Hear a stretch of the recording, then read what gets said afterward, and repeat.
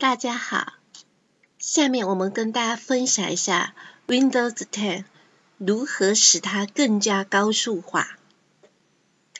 OK，首先我们从开始的菜单进来，最左边的设置开启，设置里面找到隐私开启。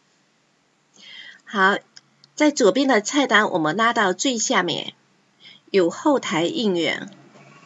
开启后台应用。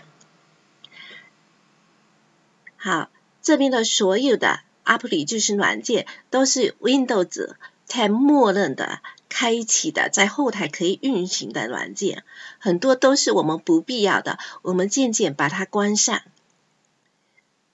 好，像第一个，3D Build 可以把它关上。第二个。Candy Crush Soda Saga，我没玩游戏也把它关掉。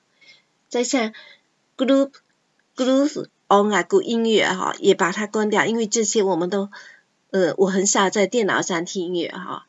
那下面还有很多哈不必要的东西，我们都可以把它关闭掉。有的是实在很需要的时候，我们再开启，这样我们就可以使电脑轻松，加快电脑的速度。OK，这里一定要设置好。好，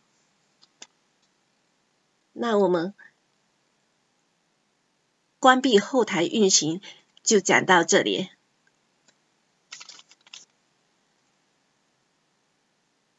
OK，好，好，下面第二个内容，我们同样是从开始菜单进来，这时候我们从控制面板进来。找到系统和安全，打开系统和安全。找到电源选项，打开电源选项。好，左边的菜单里面有选择电源按钮和功能，点开。这时候出现了更改当前不可用的设置，点开。